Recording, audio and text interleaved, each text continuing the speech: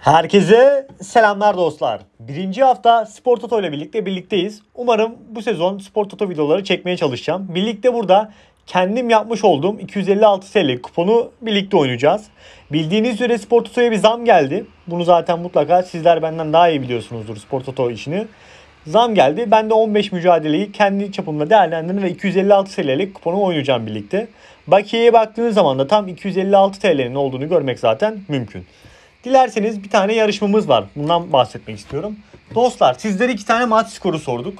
Bu maç skorunu bilen iki bilenlerden bir kişiye haftaya oynayacağı kupon yani ben 256 TL'lik oynuyorum. Genelde 256 TL'si benden. Sivas Spor, Samsun Spor, Chelsea, Liverpool. Zor maçları seçtim.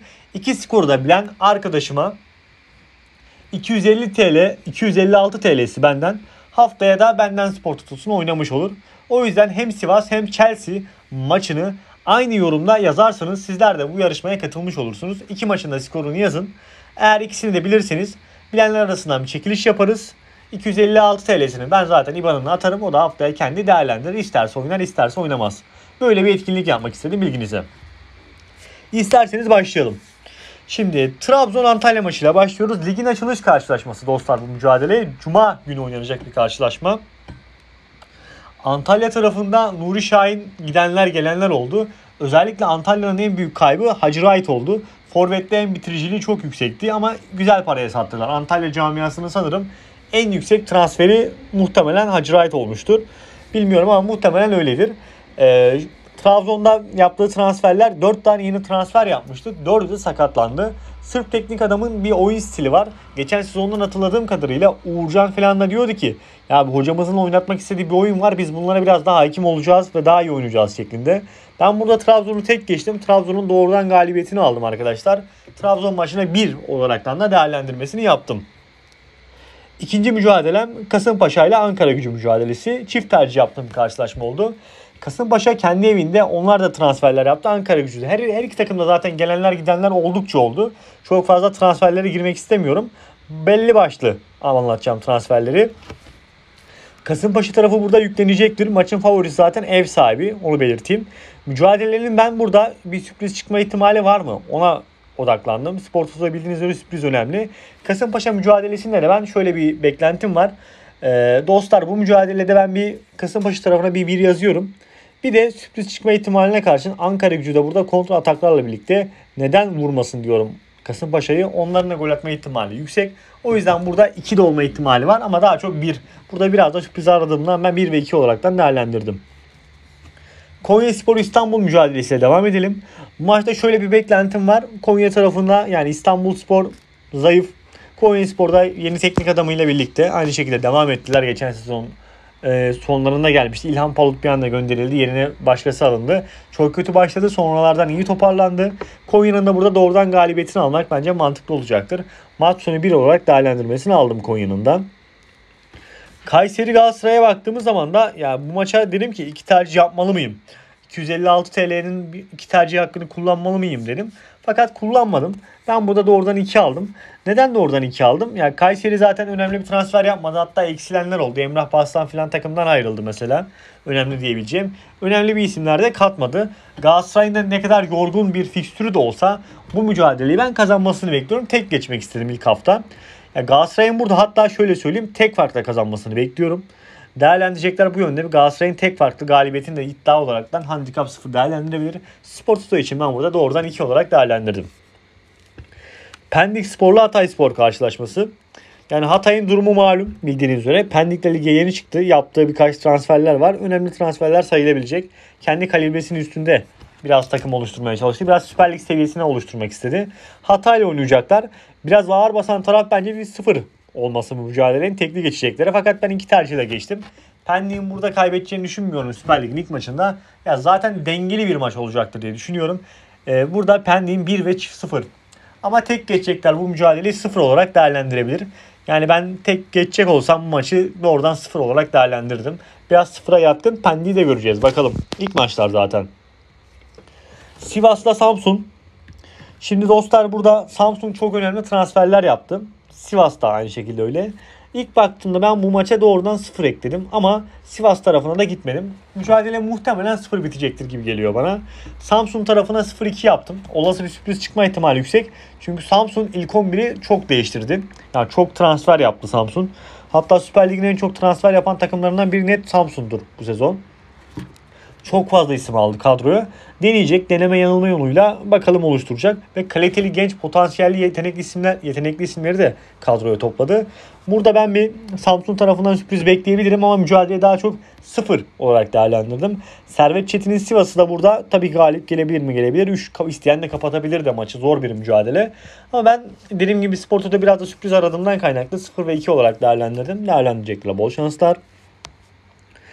Adana ile Fenerbahçe karşılaşması. Maçta da beklentim Adana'nın doğrudan galibiyeti olacaktır. Tek geçeceğim bir karşılaşma oldu. Rize ile oynayacaklar. Okey Rize iyidir. Süper Lig'e yükseldi falan. Ama Adana Demir Avrupa'da da oynamış olduğu oyunla birlikte zaten geçen sezonun Adana Demir'i devam ettirdiğini bizlere zaten gösterdi. Rize'ye göre maç temposunu ve daha ciddi bir başlangıç yaptığını düşünüyorum Adana Demirspor'un. Bakalım onların da yarın hatta bugün mücadelesi var. Bu akşam diyelim. Gecenin saat ikisinde çekiyorum videoyu. Ee, Adana Demir'in ben burada Rize'yi doğrudan yeneceğini düşünüyorum. Taraftar önünde onlar da iyi bir başlangıç yapar. Maç sonu 1'i aldık.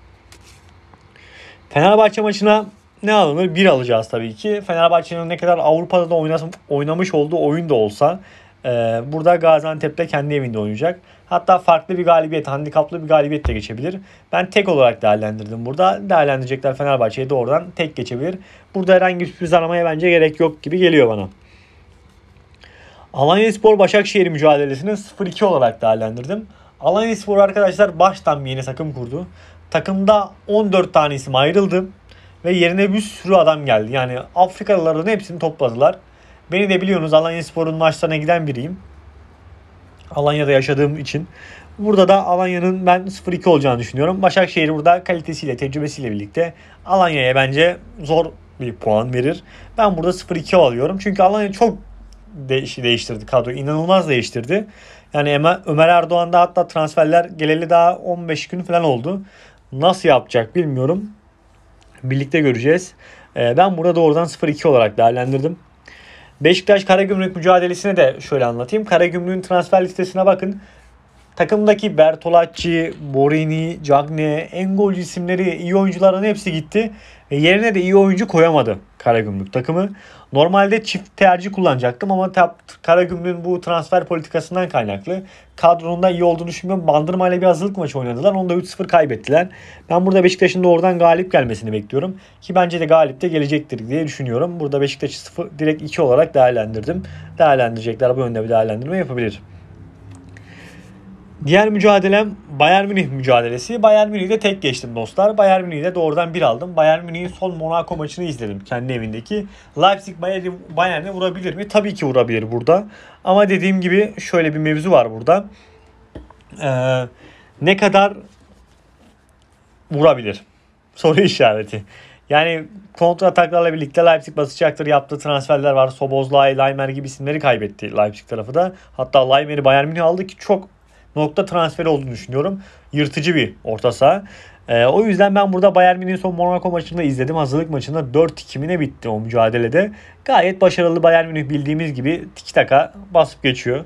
Burada Leipzig'e karşı da galip gelmesini bekliyorum açıkçası. Geçtim bunu da. İki tercih aldığım maçlardan biri de Nice-Lille mücadelesi dostlar. Ee, bu maça şöyle bir değerlendirme yaptım. Yani Lille tarafı okey ama Nice tarafı da zaten geçen sezon yaptığı transferler kadroyu iyi güçlendirmişti. Kurdum Mofiler vesaireler hücum hattında. Çoğu isim duruyor zaten aynı şekilde devam edecek. Lille biraz daha güç kaybetti gibi geçen sezona oranla. O yüzden ben burada Nice tarafının ilk mücadelede Fransa Lig 1'de kaybedeceğini düşünmüyorum. Nice tarafı hatta galibiyeti biraz daha yakın. Tek farklı bir galibiyet gelebilir. Sürpriz arayacağımı düşünmüyorum. Sürprizi bence sıfırdır. O yüzden iki tercih olarak değerlendirdim ve geçtim bu mücadeleyi. Burnley Manchester City mücadelesine de 2 olarak aldım. Ligin e, açılış maçı değil sanırım bu ama açılış maçı da olabilir. Cuma günü bu mücadele. Daha öncesinde var mı bilmiyorum. Bir Arsenal maçı mı vardı? Ya velhasıl kelam City'nin burada oynamış olduğu oyunla birlikte ya Community Shield kaybetti Arsenal'e. E, o maçta çok fazla ben önemsediğini düşünmüyorum. Maç sonu açıklamasında da Guardiola'nın şu yöndeydi. Ya dedi Community Shield kaybediyoruz ama ligi alıyoruz. Sıkıntı yok dedi. Adam yani kupayı önemsemediğini orada gösterdi ki 90 artı 10'da yediği golle birlikte penaltılar da kaybetti. Burnley'e karşı doğrudan galip geleceklerini düşünüyorum. Onlar da çok transfer yaptı. Oyuncu gönderemedi pek fazla. Kiraladı miraladı para kazanamadı. Ama paraya ihtiyaçları var mı? Yok bence. Newcastle Aston Villa maçına 1 ve 0 olarak değerlendirmesini yaptım. Şimdi baktığımız zaman Newcastle geçen sezon kadroyu zaten kurdu. Yaptığı bazı transferler var. Tonali mesela. Birkaç tane daha Aston Villa da aynı şekilde transferler yaptı. İki takım da çok güçlü oldu bu sezon. Yani şu orta sıralardan ilk onun içine oynayacak takımlardan ikisi bence zaten Newcastle Aston Villa. Ki Newcastle zaten Şampiyonlar Ligi'nde bu sezon bildiğiniz üzere. Ee, Aston Villa maçına zor bir maç. Okey ama Newcastle'ın ben kaybedeceğini düşünmüyorum. 1 ve 0 olarak değerlendirmesini yaptım. Diğer mücadelem Chelsea-Liverpool karşılaşması son maçım. Ben burada Pochettino'nun burada Liverpool'a karşı kaybederek başlayacağını düşünmüyorum. Hazırlık maçlarını izleyen biri olaraktan da Chelsea çok iyi bir görüntü verdi. Bu görüntüyü devam ettirme olasılığı yüksek. Birçok isim geldi ve birçok oyuncu da sattı. Ya son yılların en çok oyuncu satan takım oldu Chelsea bu sezon. Para kazanan takım oldu. Birçok da oyuncuyu zaten almıştı. Ben burada bir sıfıra biraz daha yakın. Hatta Chelsea ile Liverpool'un Chelsea'nin evinde ilk oynamış olduğu son 4 mücadelede maç sonu 0 olarak da tamamlandı. Bilgisini verelim. Şimdi geçelim maçlarımızı. Kuponumuzu oluşturalım isterseniz birlikte. Burada Trabzon maçına ne dedik? Doğrudan 1 olarak aldık. Geçtik. Kasımpaşa'ya 1 ve 2 olarak değerlendirdik. Onu aldık. Geçtik. Onun dışında devam edelim. Konya'yı 1 aldık. Galatasaray'ı doğrudan 2 aldık. Hiç burada acımadık. Pendik'i 1 ve 0 aldık. Samsun'u 0-2 aldık. Adana Demir'i 1, Fenerbahçe 1, Alanya 0-2. Karagümrük doğrudan 2. Bayern Münih maçıyla devam edelim. Bayern Münih 1, Nice 1, 2, 1, 0, 1, 0. Bu şekildeydi. Kuponu görüntüleyelim. 256 TL oldu dostlar kuponumuz. Şu şekilde ekrana sığdığı kadarıyla görüyorsunuzdur. 256 TL'lik hemen oyna diyerekten de biz de oynayalım kuponumuzu. Başarıyla oynanmıştır. Şuradan bekleyen kuponlardan da zaten görebilirsiniz diyerekten de benim kuponum burada. Bu şekilde ilk hafta değerlendirecekler. Bol şanslar. Videoya like atıp kanala abone değilseniz abone olmayı unutmayın. Görüşmek üzere. Bay bay.